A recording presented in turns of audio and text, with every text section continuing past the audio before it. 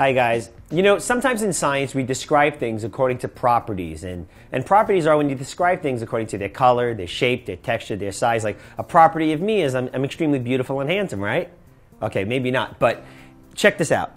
Here I have two sheets of paper, right? Now if you look at them, they're exactly the same. Same color, same shape, put them together, same size, hold them side by side, they're exactly the same weight. But now I'm going to change a property just on one of them. I'm going to take this piece of paper and I'm going to crumble it as hard as I can. Just to squeeze it and squeeze it and squeeze it and make a very, very, very tight ball of paper.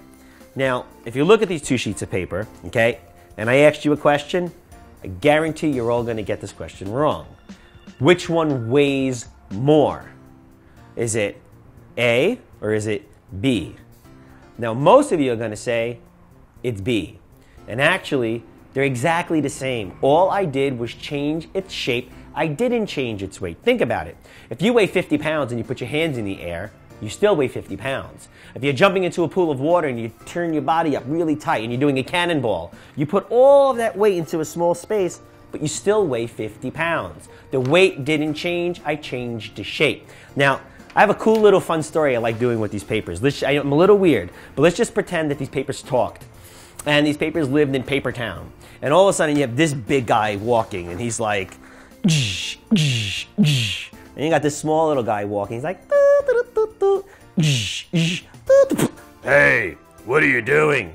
Uh, nothing. Why don't you move out of my way? Do you know who you're talking to? Yeah, someone very big. What?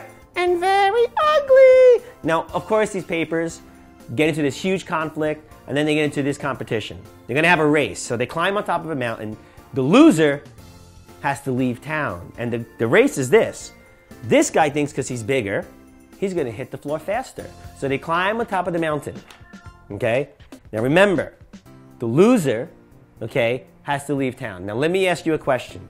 If I drop these two sheets of paper at exactly the same spot, I'm changing nothing. I'm not forcing them. I'm just to let them go. And the only thing that's different is its shape. They're the same exact thing. And I let it go. Which one is to hit the floor first?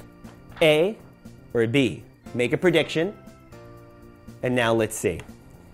Three, two, one. Was your prediction right? I think it was. The ball of paper did hit the ground first. Now, does anybody know why?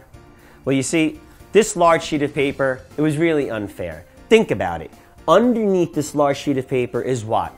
There's air. The ball of paper had just a little bit of air underneath it to move out of the way.